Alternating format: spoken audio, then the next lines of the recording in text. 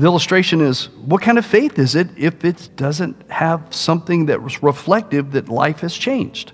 Even so, faith, if it has no works, is dead.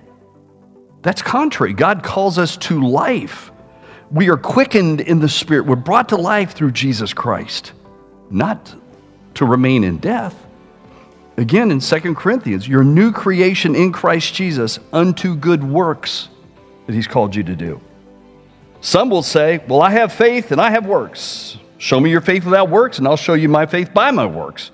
People can say all day long they have, but until they act out on it, by your fruit you'll be made known.